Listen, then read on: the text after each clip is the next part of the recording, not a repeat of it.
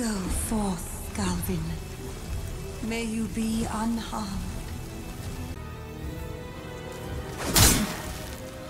Dearest Astraea, I failed you. Take your precious demon.